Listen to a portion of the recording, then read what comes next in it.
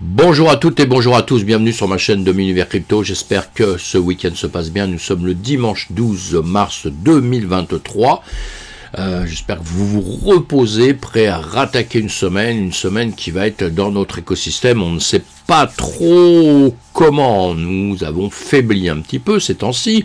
Pas mal de, pas mal de, soucis, on le sait, mais bon, on suit un beer market de 2022, hein, mes amis. Et c'est pas en, en, une seconde qu'on peut se réjouir et se dire, ça y est, c'est terminé.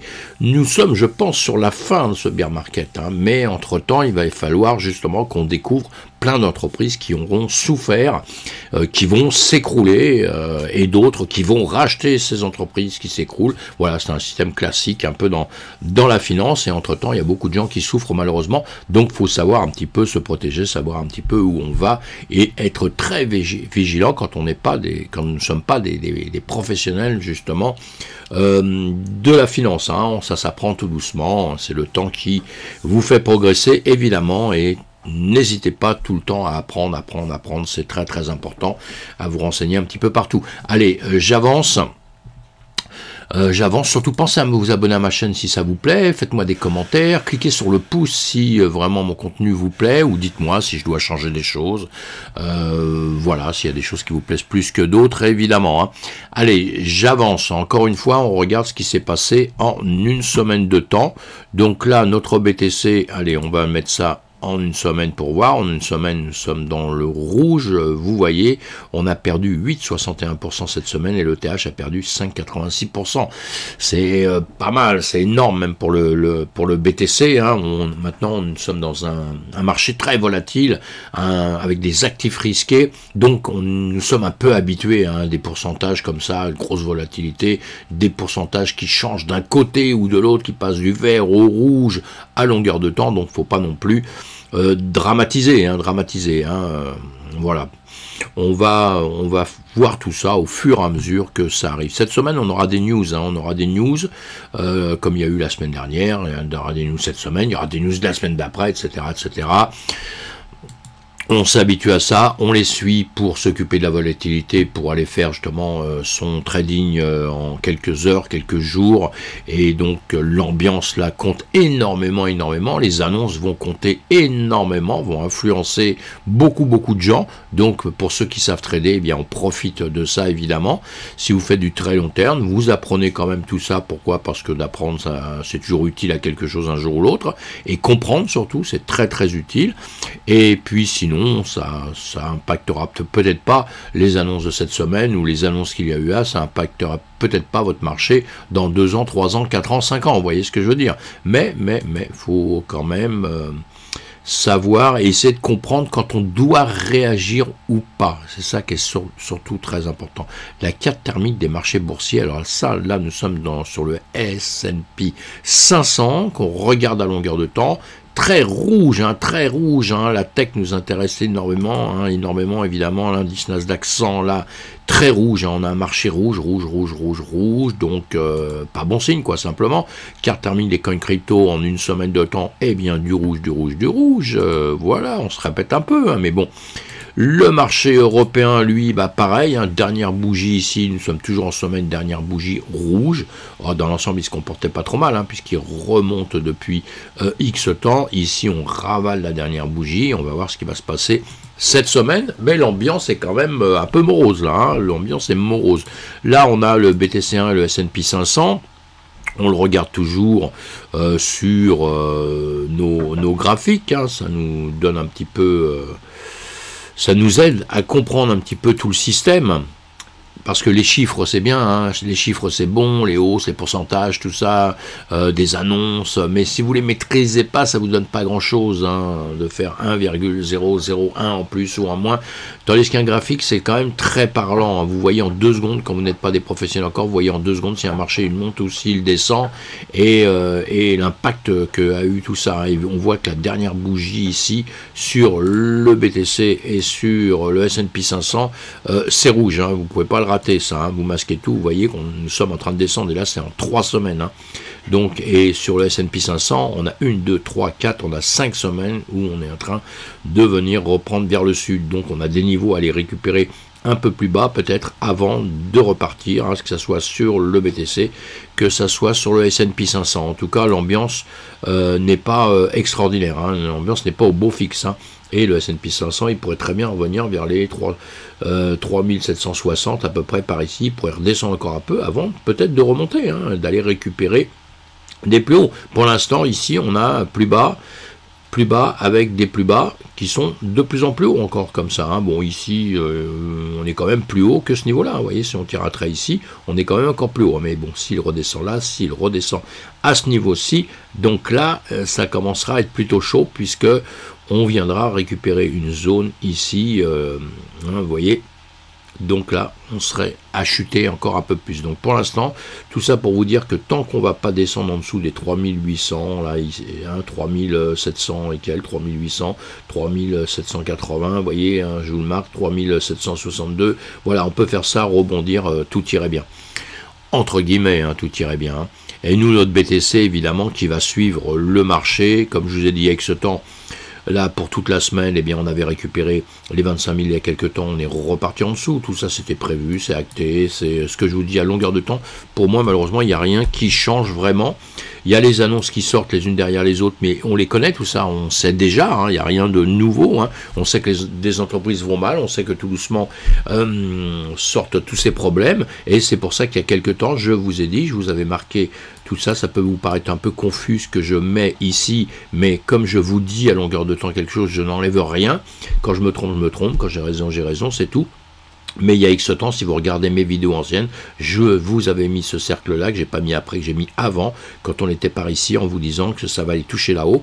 Si vraiment ça vient taper plusieurs fois ici, ben on repartira vers le sud, mais en règle générale, ça devait taper ici, et ici, je vous avais dit qu'on reviendrait par ici. Vous voyez, c'est à partir de, de ce moment-là. Et on est revenu toucher ici, ce qui est tout à fait normal. On vient récupérer des liquidités, on vient récupérer pas mal de choses, hein, et mon, mon avis était qu'on risque de redescendre encore un tout petit peu. Si on compare le BTC et le Euh, on voit bien ici, toujours en semaine, puisqu'on parle de semaine, nous, hein, eh bien on voit bien que à partir du mois de juin, euh, le 13 juin, on voit à peu près, 2022, hein, eh bien on voit que le BTC avait continué, lui, il avait rangé un peu pour après continuer à baisser un peu.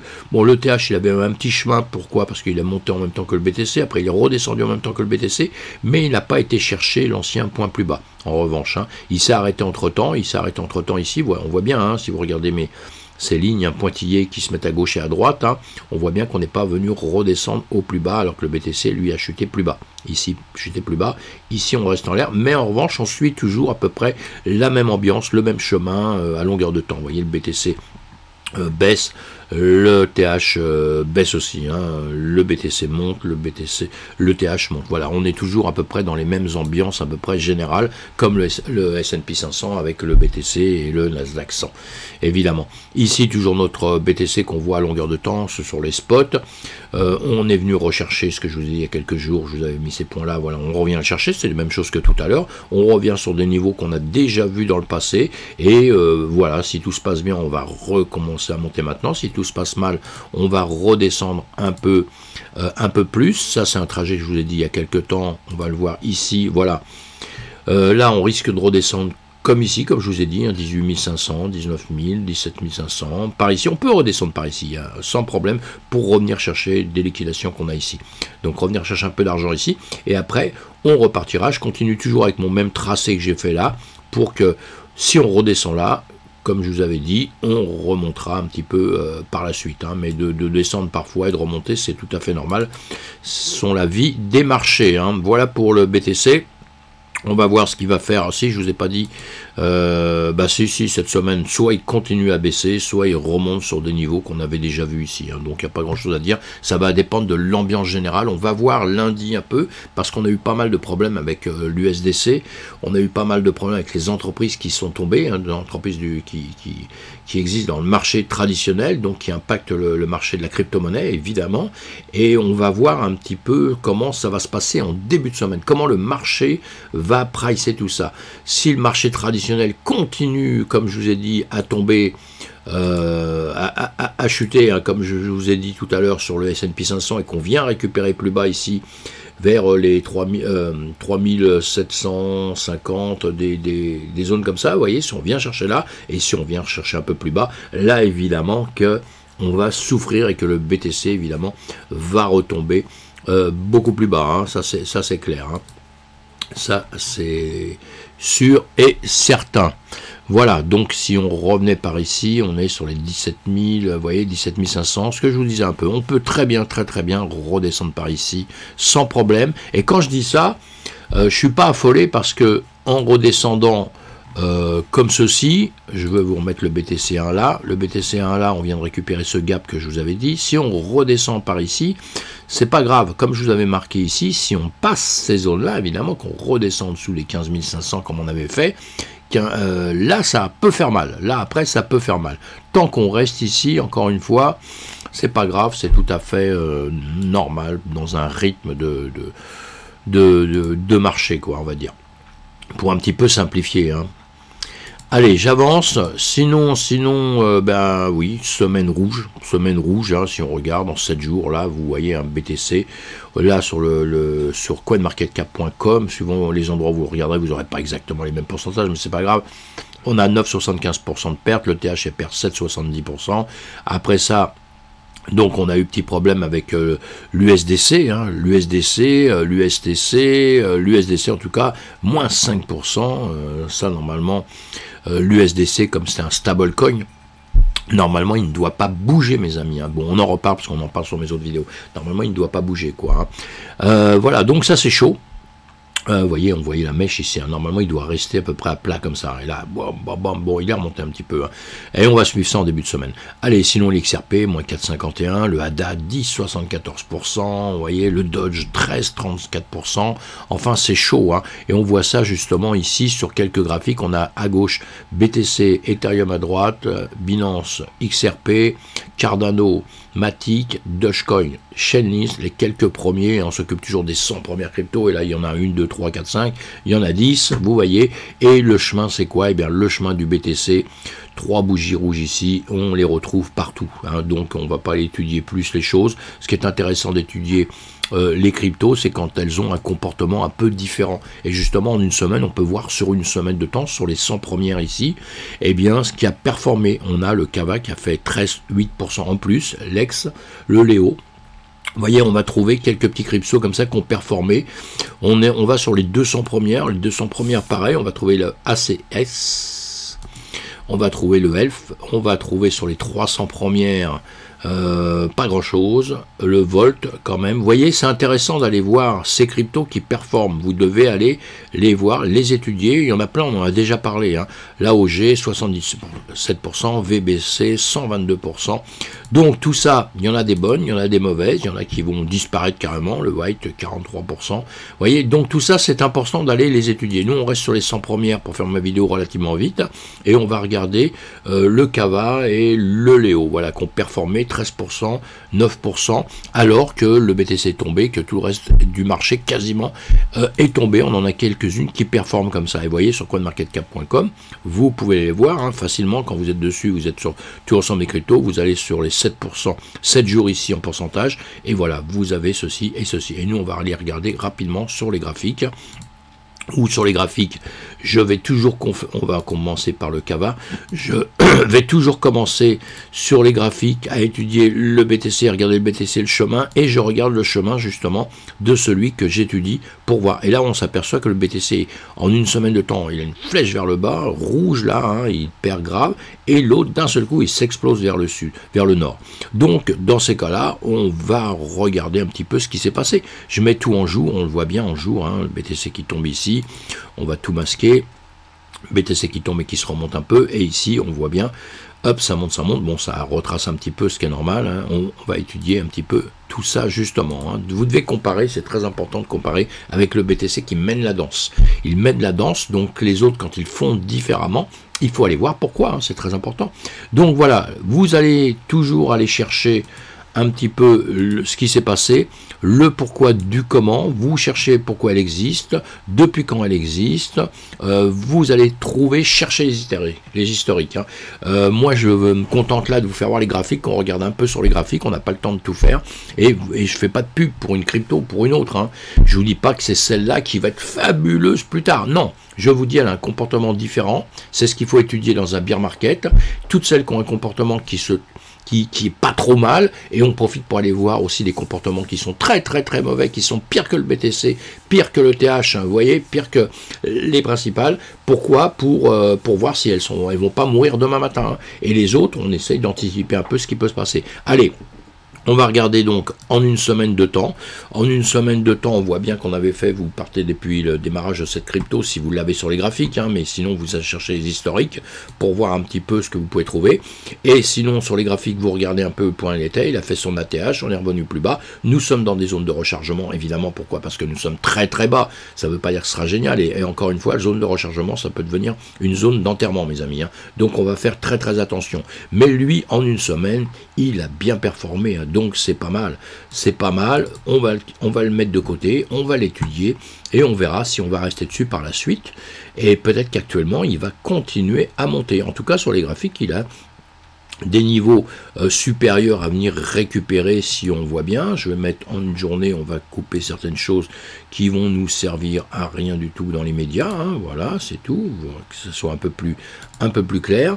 Et ici, on voit en journée, donc en jour, on a 7 jours, 1, 2, 3, 4, 5, 6, 7, on voit bien qu'il est monté. Il retrace légèrement, il est au-dessus euh, du nuage de euh, la semaine nuage de la scène, enfin il revient légèrement dedans, hein, avec une lingue span ici qui revient légèrement dans le nuage, donc c'est en pleine réflexion, il faut faire attention, hein, c'est très important ça, pleine réflexion, on ne sait pas s'il va redescendre vers le sud ou s'il va remonter, donc on reste prudent ici, et s'il doit redescendre, eh bien il risque d'aller rechercher évidemment des niveaux que vous avez en dessous comme, euh, comme, comme, comme, comme euh, on va regarder, voilà, ici on a ceci, ceci, ceci, ici on a eu des mèches importantes, on a des niveaux importants ici, ça risque de les récupérer, et ça peut venir chercher, moi j'aime bien les mèches tout le temps, ça peut venir chercher une mèche qu'on aura ici, et attention, ici on a ces plus bas là, qui sont importants évidemment, hein. si on parle du nord, eh bien voilà, maintenant c'est ça qui va nous servir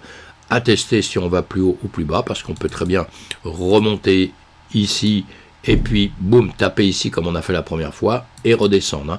Pour l'instant, grande question ici, hein, puisque vous voyez la Ginspan qui se retrouve dans euh, le nuage. Bon, qui a passé légèrement euh, la Tenkan, la Kikjun, euh, donc ça c'est quand même bon signe, mais il faut qu'il sorte du nuage. Il hein. faut que ça passe la SSB qui est au-dessus. Tant que ça ne le fait pas, c'est que ça va faire, ça fait demi-tour, vous le voyez ici, de toute façon.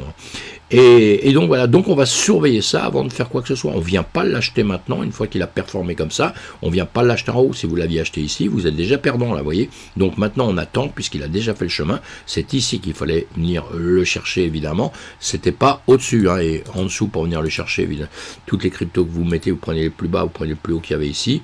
Voilà, vous avez une zone ici, c'était bon à prendre des trades ici. Voilà, et avec attention, en respectant des niveaux qu'on avait au-dessus, hein, en sachant qu'on pouvait toujours faire demi-tour à des points très sensibles comme ceci. Vous voyez, ça sont des zones très très sensibles. Hein. vous voyez, les bougies changent de côté etc. Elle n'a pas réussi à descendre plus bas, hein, mais en revanche, elle a monté un peu, mais elle est redescendue après beaucoup plus bas par la suite. Hein.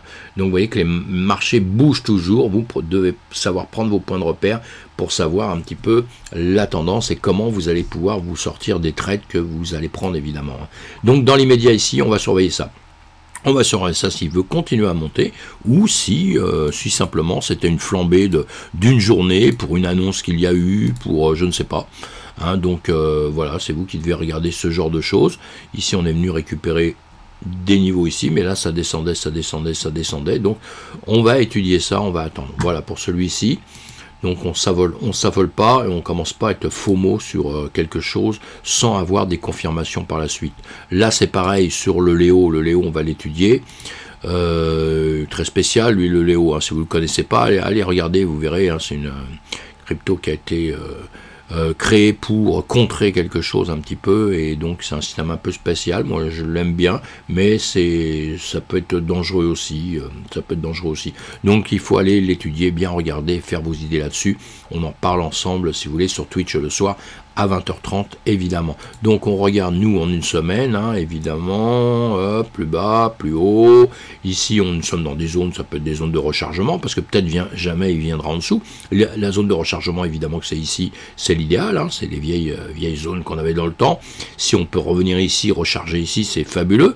Mais peut-être que la crypto, vous ne savez jamais, elle peut jamais peut-être revenir descendre ici. Alors donc si vous voulez rentrer dans ce genre de, crypto, ben, vous pouvez rentrer maintenant, mais vous lissez un petit pourcentage parce que rien ne vous dit qu'il ne va pas redescendre par la suite. Donc pour ça, pour être sûr de ça, on doit, encore une fois, je me répète, c'est hyper important, hein, on doit suivre les news, on doit savoir à la communauté ce qu'elle en pense, on doit comprendre pourquoi là il a regrimpé un peu, alors que le marché est en train de tomber. Donc on doit étudier tout ça et on se fait son avis, on écoute un peu les autres, mais on se fait surtout sa propre avis. C'est votre avis qui compte. Pourquoi c'est votre avis qui compte? Parce que c'est votre fric, mes amis. Hein, les autres, on s'en fout, hein, parce que celui qui a peut-être des intérêts dans, dans ce truc-là, il a intérêt à vous dire, il en a acheté plein, il a intérêt à vous dire, allez-y, allez-y, montez, parce que lui, dès que ça va monter, il va vendre. Hein.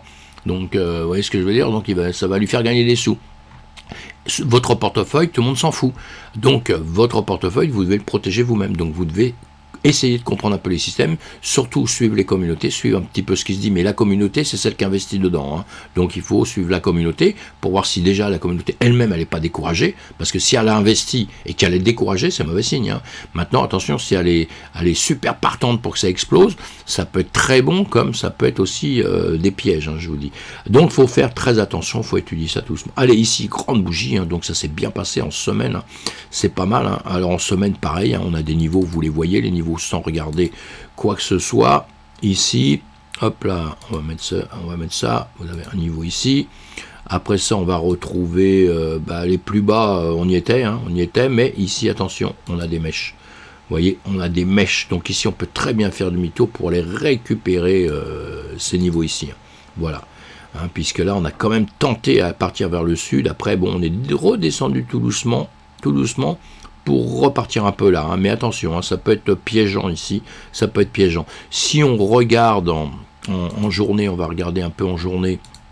En journée, nous passons le nuage. Ici, la Laginspan est dans le nuage encore. Une fois, pareil, il va falloir qu'elle passe la SSB pour confirmer, mais il va surtout falloir qu'elle vienne ici passer au-dessus de ce niveau ici, euh, le plus haut que vous avez ici. Il faut surtout que ça vienne ici, parce que ça peut encore une fois, je le dis, je le répète, euh, voilà, longueur de temps, mais ici, avec des niveaux comme vous avez ici, ça peut très bien faire ceci, et boum, être rejeté et revenir ici. Tout à fait. Donc ça, c'est très important. Pour moi, c'est plus important que cette zone-là où ça peut faire demi-tour. Donc vous achetez ici, ça redescend là, vous avez déjà perdu des sous. Sinon, ce qui est très intéressant en journée, ce que j'aime bien, c'est d'avoir des niveaux comme ceci, évidemment. Un niveau qui est un plat, vous avez un plus bas, euh, voilà, vous avez plus bas ici, vous avez un plus haut ici, et moi je fais ça, voilà, plus bas, plus haut, et ici on est en train de se tâter de savoir si on doit passer cette zone ou pas. Voilà, et si on la passe réellement, on aura cette zone à surveiller. Hein, et entre-temps, je répète ce que je disais, mais ici c'est assez intéressant, hein. vous avez une zone dans une zone, hein.